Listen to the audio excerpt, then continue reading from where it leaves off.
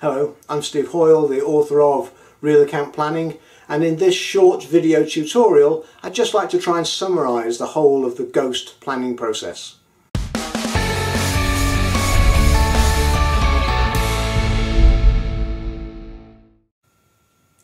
GOST is a standard planning process.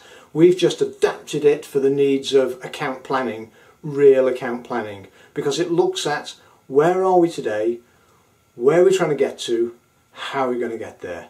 Simple process at the heart of all good planning processes. Situation analysis describes the relationship that we really have today. And remember, we look at typically three perspectives. Firstly, do we really understand the client business? What's important to them? What keeps their senior execs awake at night? Because this is going to enable us to understand what's important to them, what's going to drive their relationships, drive their purchasing decisions.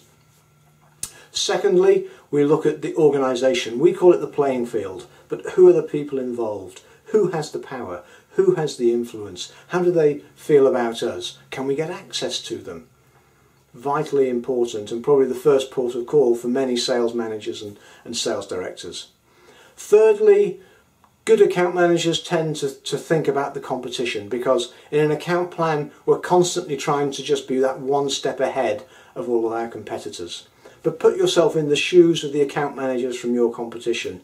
Who would you then see as your supporters? What would you be trying to achieve? What would your goals and objectives and strategies and tactics be? It's normally a good idea to try and summarise all this analysis using something like a SWOT analysis or a SWOT plus tool or something like that. But it's crucial that we do this analysis. It may be the drier part of planning, but it gives us a firm foundation to think about where do we want to go in the future and be realistic. The future we express in terms of goals and objectives. The goal is what goes on the t-shirt. It's broad, it's descriptive, it's inspiring and it's memorable. Objectives may not be memorable, but they provide clarity. So remember, they're going to be smart, specific, measurable, achievable, relevant to the long-term goal and time-scaled. But that gives us absolute clarity to make sure that our thinking process is clear and we can communicate clearly and set the right expectations with others who are providing us with resources or our boss or whatever. In terms of how we get there, we talk about strategy and tactics. Strategy is what's the broad direction, the broad approach we're going to take. And we do this because then we can have choice. Account planning is all about giving yourself choice. Do I do this or do I do that? And we encourage vigorous debate around the different strategies. But once we've decided on strategies, then making sure that we put executable actions in place. And that's the job of tactics, who have an owner, with an action and a timescale, maybe a budget, maybe an outcome as well. That's account planning. Where are we now? Where do we want to get to? How are we going to get there? Uh, there are many great examples of account plans out there. There's also lots of examples of people who do a good job of analysis but then don't follow it through with any action. Uh, there are people who do a great job of the kind of the vision of where we want to get to, but it may not be grounded in, in a good analysis and again may not be backed up with, with good strategy and tactics.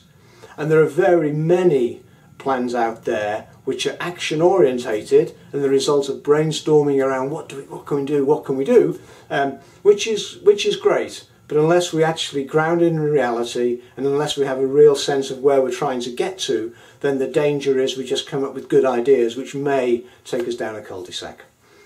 Where are we now? Where do we want to get to? How are we going to get there?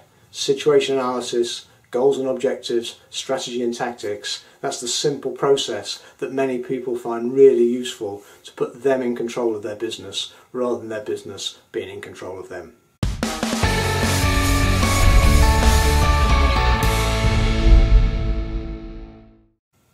This has been the final video tutorial in this series. I hope uh, that you found it useful, that you found the whole series useful. Clearly I would urge you to look into the book uh, or go to the website where you can find more resources, articles, case studies, case examples. You can download the first chapter of the book for free or you can also go to Amazon and you can actually buy the book.